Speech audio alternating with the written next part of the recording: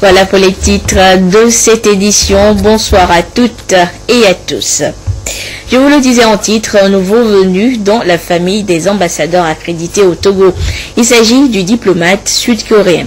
Le nouvel ambassadeur Liu Woon-ki s'est prêté à la tradition de présentation de ses lettres de créance au président de la République. Le nouveau diplomate sud-coréen se dit déterminé à œuvrer pour le raffermissement des liens de coopération qui lient Séoul et Lomé depuis 52 ans. Découvrons le nouvel ambassadeur avec Ramdan Bassina.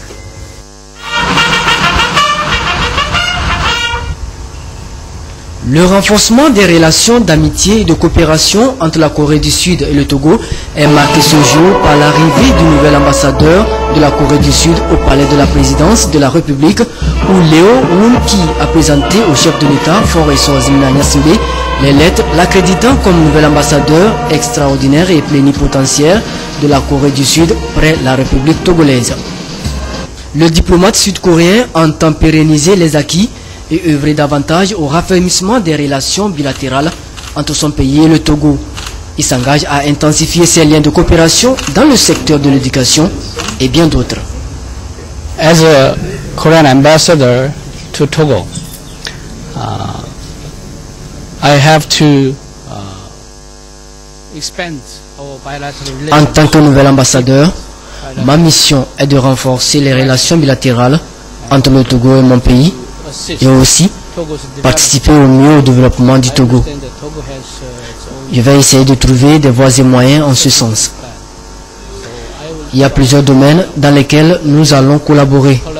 La formation et l'éducation sont très importantes. Déjà, 63 officiels et 9 étudiants bénéficient des bourses d'études en master et doctorat dans mon pays. Je ferai de mon mieux pour que ce nombre soit revu hausse. I try, I try and I do my best to have more numbers of this. Diplômé en économie et finance, Léo Wunki, avant sa nomination comme ambassadeur au Togo, a occupé plusieurs postes, dont celui de conseiller à l'ambassade de Corée du Sud en République tchèque. Âgé de 55 ans, il est marié et père de deux enfants.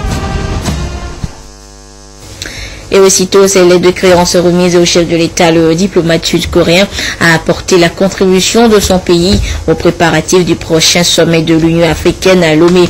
Il s'agit de matériel informatique et bureautique d'une valeur totale de 145 millions de francs CFA reçus par le ministre des Affaires étrangères.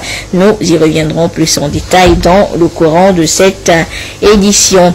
Et notez également qu'il a été question de préparatifs de ce sommet justement entre le Premier ministre et une délégation de l'association du corps des marins marchands du Togo ce mercredi à la primature. Et outre cette délégation, le chef du gouvernement, comme ici l'homme Klassou, a discuté de développement mobile au Togo avec le directeur général de Move Togo, puis de la santé financière du pays avec le directeur de la Banque Société Générale. Nous écoutons toutes ces personnalités à leur sortie d'audience au micro de Antoinette Romao. Au revoir. Euh, J'étais honoré par la réception de son Excellence, euh, Monsieur le Ministre. On a parlé, on a échangé sur la qualité du service, euh, que ce soit technique ou bien commercial, sur l'étendue de couverture. J'ai fait part à son Excellence de, des orientations de son Excellence Madame le Ministre de l'économie numérique, qui n'a pas cessé en fait à nous inciter en fait à une amélioration, que ce soit commerciale ou bien technique. Donc un plan d'action, il est en cours en fait pour aller au-devant. J'ai réitéré en fait euh, la volonté de Mouva à aller au-delà. Et donc euh, nous sommes à la disposition en fait pour euh, relever ces défis-là. Nous sommes allés dire merci aux autorités du Togo pour l'accueil qui a été réservé à la Société Générale Togo. Et nous en avons profité pour lui faire le point de nos activités, pour euh, le situer hein, sur la, vocation africaine de- du groupe Société Générale, mais également sur toute la confiance que notre groupe porte euh, au Togo. Nous sommes venus le féliciter pour sa nom- nomination à la tête du gouvernement. Et ensuite, nous l'avons présenté l'association des gens dénommée dénommée Coma Togo. Puisque, comme vous le savez, il y a un sommet qui va se tenir bientôt. C'était une présentation et une félicitation. Et je vous disais donc tantôt qu'aussitôt ces lettres de créance remises au chef de l'État, le, nouveau diplomate sud-coréen au Togo a porté la contribution de son pays aux préparatifs du prochain sommet de l'Union africaine sur la sécurité maritime à Lomé.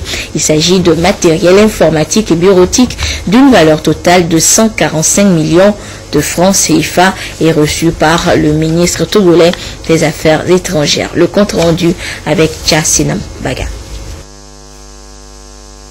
Le don est composé de quatre véhicules et d'un important lot de matériel informatique et bureautique. Évalué à 145 millions de francs CFA, ce geste de la Corée du Sud vient en appui au Togo dans l'organisation du sommet extraordinaire de l'Union africaine sur la sûreté et la sécurité maritime et le développement en Afrique que le Togo va bientôt abriter. En remettant ce don, le nouvel ambassadeur de la République de Corée au Togo a exalté les liens d'amitié et de coopération qui existent entre son pays et le Togo, mais également la bonne tenue du dernier scrutin présidentiel. As I arrived in Togo yesterday, je suis arrivé au Togo depuis hier. I am very much contented with the serene yet dynamic atmosphere in Lomé. Et je suis très heureux et ravi de l'atmosphère cordiale de Lomé. I believe that it is owing to a great leadership of President Nasingbe and a good democracy foundation in this country. Et je crois que c'est grâce aux efforts du président Nasingbe pour promouvoir la démocratie dans ce pays.